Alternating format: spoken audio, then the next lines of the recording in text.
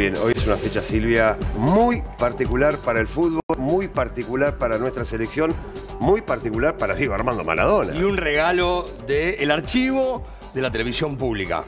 Con nombre y apellido. Hugo Facio, por eso en nombre de él, a todos los camarógrafos. camarógrafos. El saludo en su día.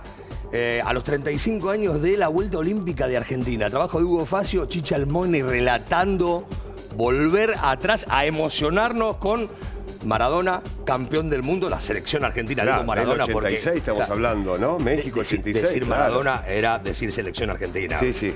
No- hasta el gol con la mano le cobraron.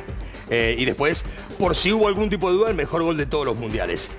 Pero la vuelta olímpica la repasamos y la revivimos. Nos emocionamos junto con nuestro archivo que nos da este regalito. Dale.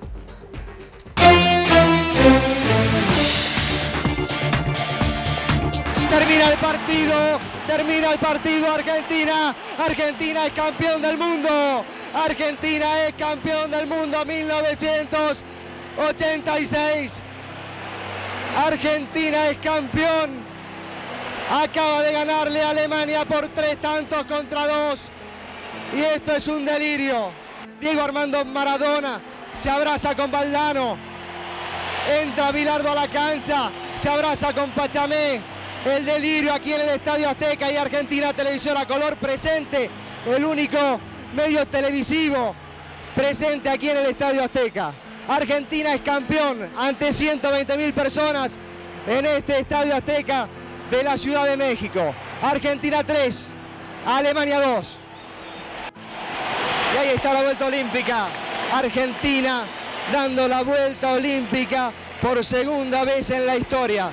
En estos momentos Argentina se confunde aquí en este Estadio Azteca en un abrazo, en el mismo abrazo que seguramente se está dando toda la gente en nuestro país. Baburruchaga, Pumpido, banderas argentinas, 120 mil personas en el estadio aclamando ahora a este Argentina, campeón del mundo.